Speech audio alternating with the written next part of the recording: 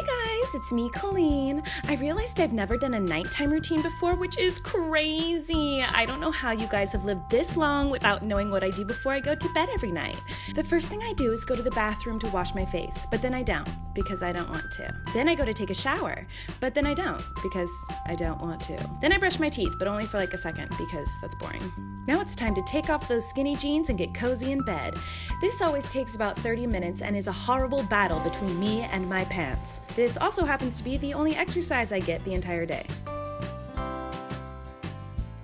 Now it's time to get cozied up in bed and take off my bra. I sleep in my dirty shirt because I'm disgusting. Once the bra is off, I rub the absolute shit out of my tits because it feels so good. Oh my god, why does this feel so good? Next, I lay in bed and realize I forgot to turn off the lights. This is definitely the worst part of my entire day because I realize I have to get out of my perfectly warm cocoon and turn off the lights. I then run across the room, turn off the lights, and jump back into bed so fast you'd think I was being chased by a murderer.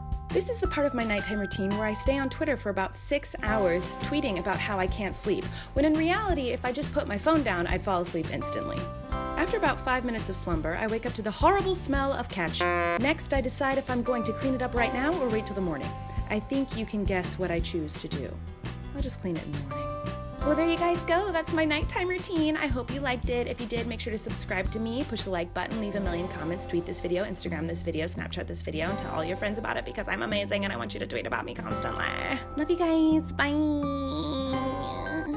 I am very ashamed to say that that is actually my nighttime routine. I wish I was as awesome as all the beauty gurus out there who have an incredible nighttime routine regimen, but I uh, am a loser and just sleep in cat poop.